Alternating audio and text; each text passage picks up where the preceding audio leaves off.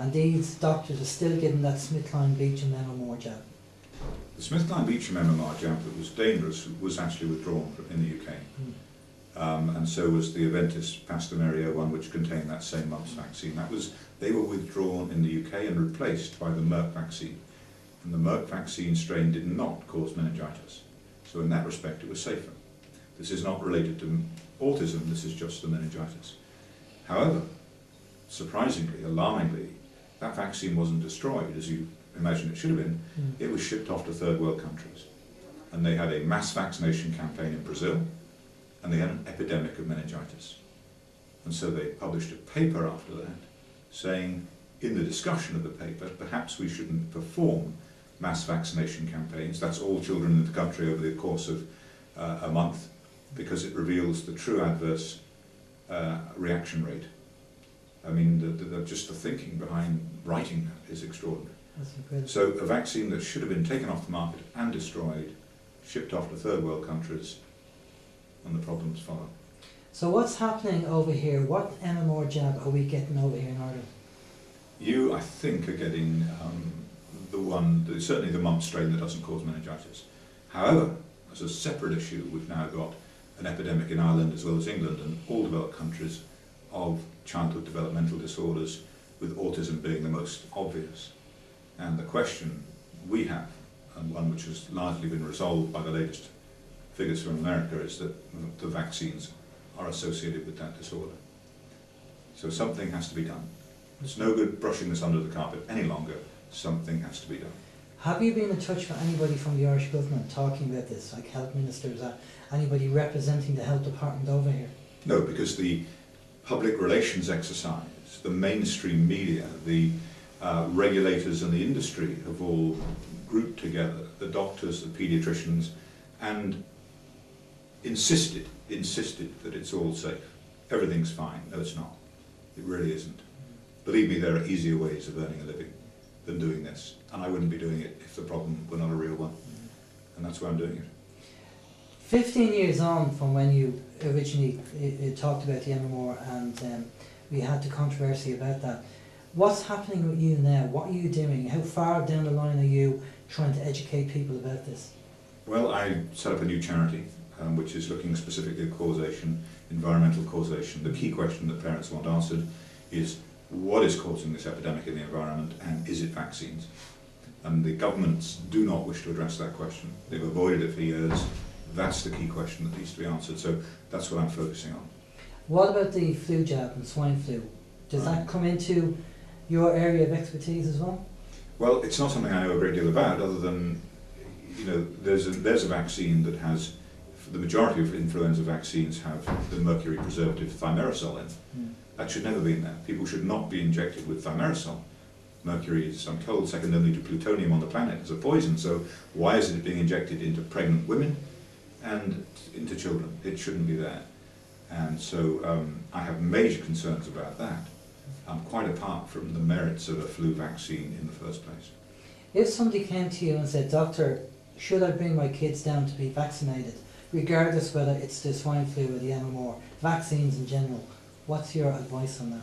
Well, I would say, you know, there's a lot of inf- information out there now. There's a whole lot of information. Go out and get informed. Read that information. Go to the various websites. Read the CDC's website. Mm. Read the Department of Health's website, as well as the other websites. Mm. Get all the information Mm. and make a fully informed decision.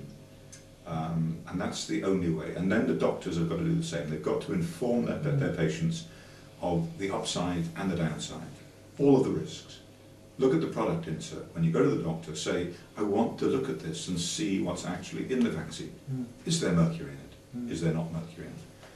And what is the safety profile? Ask questions of your doctor. Demand what are you making your recommendation based upon? Mm. Not what someone has told you. What have you read? What have you really understood about the safety of this vaccine that enables you to tell me that it's safe for my children? Do we try and educate our GPs? Definitely, absolutely. I think the great majority of GPs ultimately will would feel terrible if they felt that they were involved in some process, but they're given a line by the government, by the Department of Health, and it's easier for them to swallow that line than take the trouble to read the literature and understand for themselves. I know this, it's a fact, it can be done, I did it.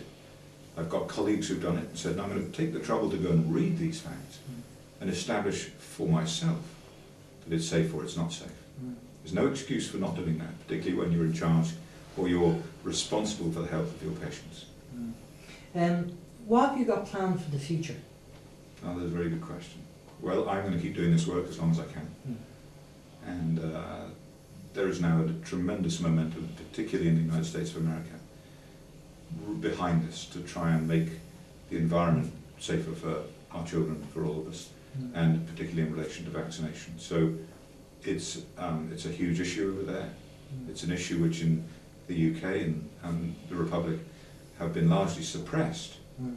by the lack of media attention, by the belief, the entrenched belief that vaccines are safe, but not so in America. So I think that what we're going to see is a classical situation where America sneezes and, and Europe catches a cold. Okay, do you have a, book out, or are you working on a book? I've written two books. The first one, Callous Disregard, describes, provides the facts of what happened to me in the UK. How the system deals with dissent, the sort of brutal, um, the, uh, what's the word, the pragmatic, sort of ruthless pragmatism with which the system deals with people who uh, express concerns about particularly pharmaceutical products. Mm. Uh, and that's what that book's about. It gives the facts of the, of the matter. And the second book I've just finished is about Munchausen syndrome by proxy. So it's about mothers who are accused, parents who are accused of abusing their children who have autism. Mm. And so the parents put the child on a special diet Mm. and the child gets better. And therefore they never had autism in the first place. Mm. Yes, they did. They had a diagnosis of autism. It just so happens that the parents did the right thing and treated their children, and then the children are taken away from them. The children are put back on the wrong diet, and they regress back in it. This is the kind of story that I'm writing about now. It's trying to educate the child protective services, uh, the social services on what autism is, Mm. what to expect, and not to make assumptions about the lack of physical problems that they perceive in these children, which are real. They, these children are Mm. sick, Mm. and they merit the kind of attention that we've been giving them over the years. If you have, for our, our listeners, for people who are concerned about if they have newborn uh, children and they're going to get the vaccine or they're thinking about it, is there, or maybe they have done it and they're beginning to see symptoms or something strange, is there any way, I mean, you have a website, can they contact you? Is there a helpline or where can they get some advice? There are probably better people to contact, and um, the National Vaccine Information Centre, nvic.org, is a very good place to go and get the information about vaccines, Mm. their relative safety, what's in them, how much is in them. Um, that's one approach. Then there are many, many websites that deal with children who are uh, have autism. So the Daily News is on Age of Autism. Uh, go to ageofautism.com and you'll get all of the updates, and that'll take you everywhere you need to go. Then there are other groups in America and the UK, principally in America, sadly, at this stage. Mm. I don't have the Irish um, websites, but there are a number of people who do run organisations here, mainly educational, Mm. less less medical. But in America, there are organisations like TACA, T-A-C-A, talk about curing autism. Um, there's uh, um, the uh, National Autism Association, NAA, NAA.org. So goes go to those websites, and there is an abundance of information that can help you on on get on track. And your own website is? My own website, we have several websites. We've now got a TV company, and we're making um, uh, Autism Mothers TV, which is and the um, Autism Media Channel. So go to autismmediachannel.com. There's a lot of information on there. Polly Tommey, my uh, co-owner, co-director, and uh, presenter, she's outstanding. Does a wonderful job, um, and does things as you know on one on one hand cooking shows, financial management for parents with autism, all these things. So it's very very useful. How to get a diagnosis, what that means. So go to the Autism Media channel for all that information. You've um, been here today because you've been obviously invited over by the Sovereign Independent to do the master plan and talk to the general public. Now, we did talk earlier, and you said that the kind of troop movement is kind of new to you. It's not something that you've probably you've been involved in, After being here today and seeing speakers and talking to people, has your perception changed in any way? It's very interesting, fascinating. I mean, my approach to life is that you need to listen to people. You can't assume things about what they think or don't think or what their opinion is. You've got to go and listen to it yourself. In fact, as we're talking, I'm missing one of the most interesting talks of all about the structural, uh, you know, the, the 9/11, the structural issues. And this is coming from an architect, a very senior architect and engineer.